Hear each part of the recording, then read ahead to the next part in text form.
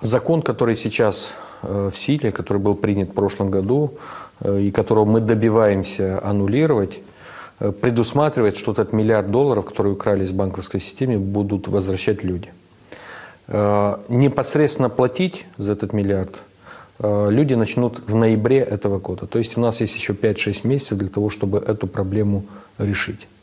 Мы на данном этапе добиваемся аннулирования этого закона в парламенте. Если не получится, есть вариант референдум, либо мы уже разработали определенный механизм для того, чтобы снять эту нагрузку, чтобы люди не платили. Это будут другие возможности, и я думаю, что мы эту проблему решим.